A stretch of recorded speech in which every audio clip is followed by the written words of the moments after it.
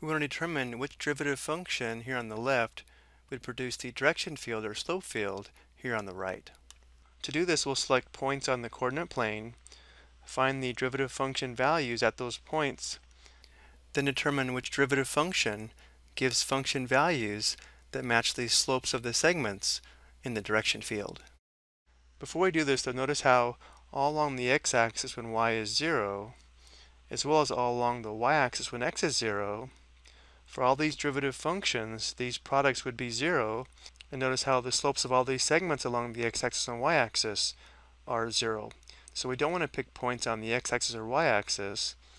And also notice at the point 1 comma 1, all of our derivative function values would also be 1, so we won't use the point 1 comma 1 either. Let's use the points 1 comma negative 1, negative 1 comma negative 1, and negative 1 comma positive 1.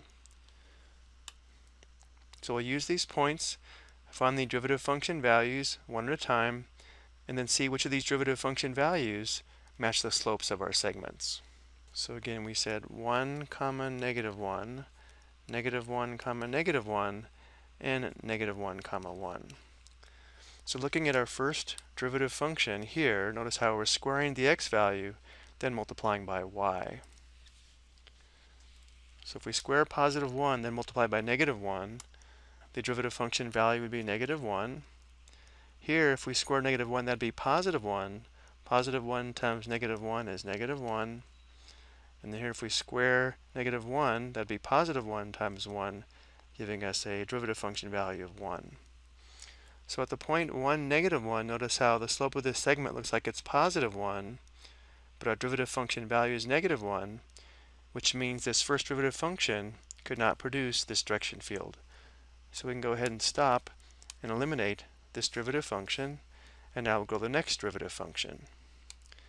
So we'll erase these derivative function values and do this again, but notice how here we have x times y squared, so we're now squaring the y value. So we'd have 1 times negative 1 squared, that'd be positive 1. Here we'd have negative 1 times negative 1 squared, that'd be negative 1 times positive 1, or negative 1. And here we'd have negative 1 times positive 1 squared, which would be negative 1.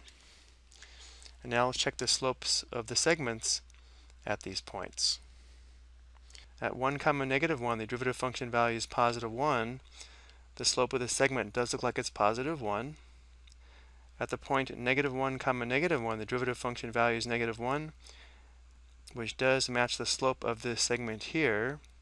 And then finally, at the point negative 1 comma 1, the derivative function value is negative 1, and notice how at this point the slope of the segment does look like it is negative 1.